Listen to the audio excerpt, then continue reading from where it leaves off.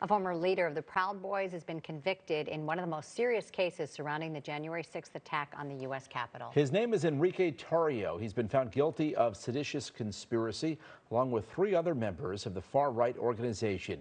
The charge carries a punishment of up to 20 years in prison.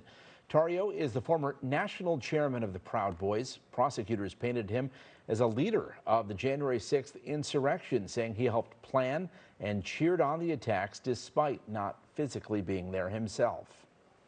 The department will conduct all of its work in a manner that adheres to the rule of law and honors our obligations to protect the civil rights and civil liberties of everyone in this country. Today's verdict is another example of our steadfast commitment to keeping those promises. The four men were also convicted on two additional conspiracy charges, as well as charges related to obstruction of government and law enforcement.